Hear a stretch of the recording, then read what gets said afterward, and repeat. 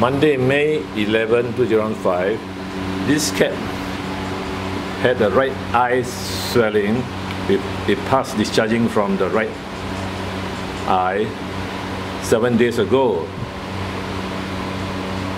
Then the scaling was done and uh,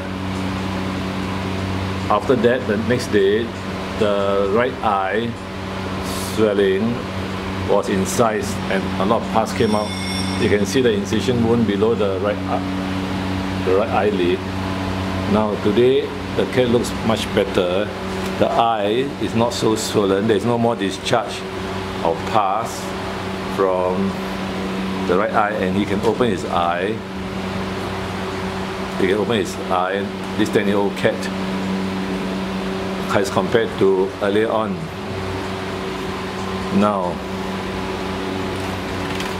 there you can see sometimes he opens his eye. Uh, the swelling is, is gone and uh, it looks much better.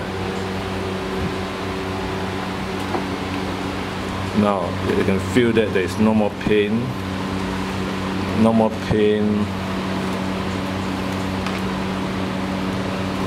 no more pain there, and uh, the eye, eyeball seems to have shrunken in. It will take time to recover from the infections that was past there.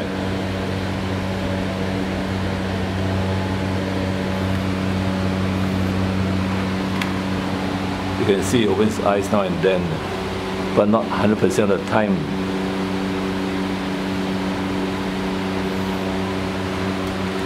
So this infection was very uh, extensive below the subconjunctiva, lower eyelid, and uh, as to what causes it, maybe something had dropped into the lower eyelid earlier on and uh, gone into the subconjunctiva of the lower eyelid, causing a swelling in the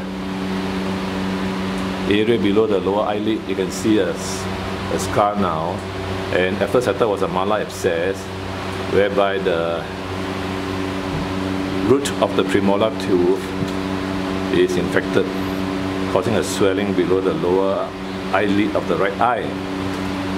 But uh, when we did dental scaling, there was no loose root of the premolar, upper premolar, the right upper premolar was okay. And uh, so the abscess would be more on the subcutaneous below the right lower eyelid. Now,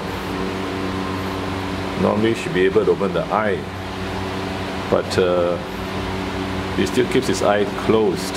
He's going home today, and uh, from what I see, there should be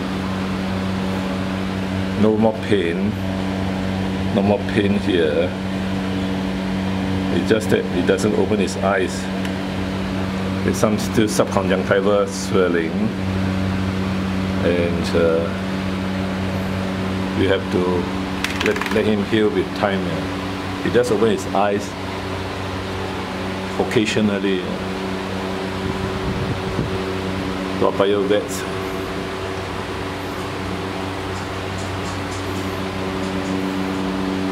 Ten year old cat with right facial swelling abscess below the right eye eyelid